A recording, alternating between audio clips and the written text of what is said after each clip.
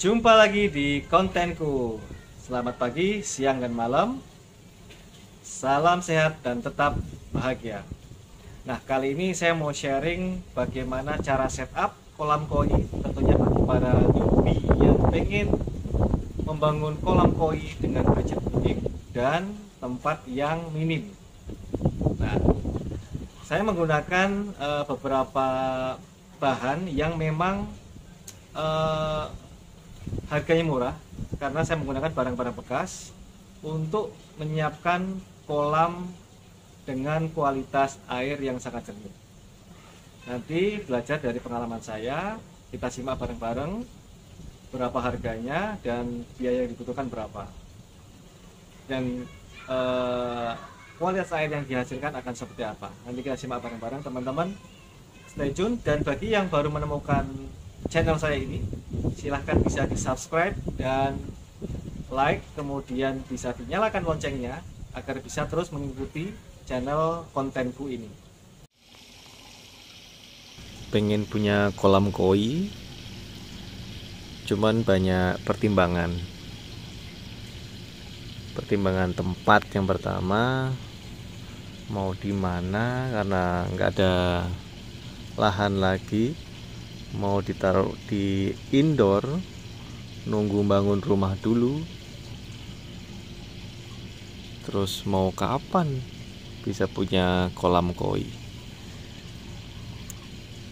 Kadang juga terbentur.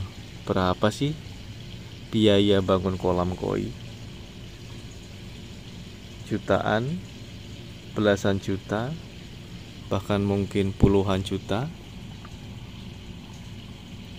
ya kita coba mulai yang simple-simple dulu. Akhirnya saya bisa coba dengan menggunakan bak fiber. Kita bisa pilih-pilih bahan yang lebih ekonomis yaitu barang-barang second. Kita cari online Pak Faber yang memang second dan kualitasnya masih bagus. Dan beberapa lagi filter juga yang second dan masih layak pakai dan kualitasnya pun masih bagus.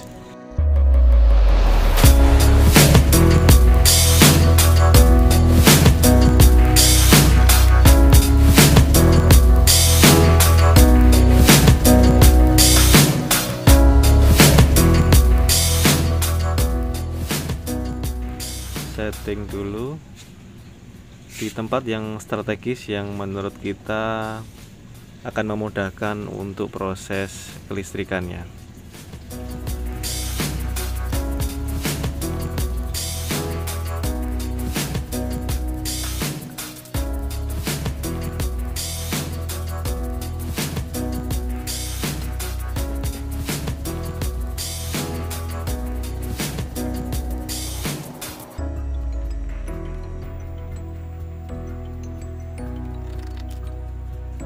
Karena outdoor saya menggunakan pengaman agar tidak terkena hujan ya atau terkena air. Cari yang ada aja second atau bekas. Jadi biar agak ngirit. Itu bisa kita tutup.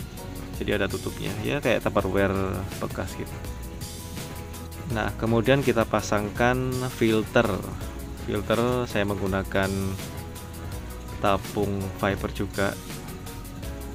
Yang saya dapatkan online hunting online yang second.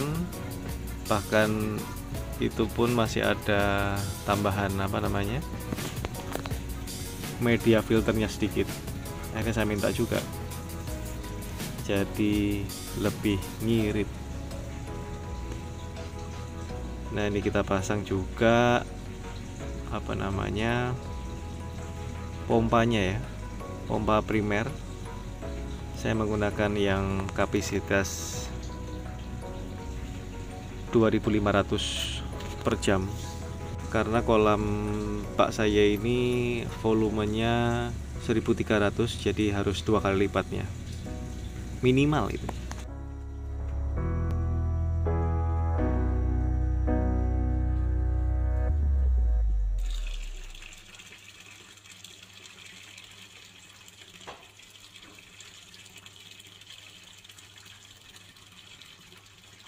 ini sebenarnya bottom drain tapi saya gunakan bottom drain aslinya belum ada. Ini hanya saluran pembuangan tapi kita bisa gunakan dia sebagai apa namanya alat untuk kontrol ya. Jadi air jika hujan itu tidak akan meluap sampai atas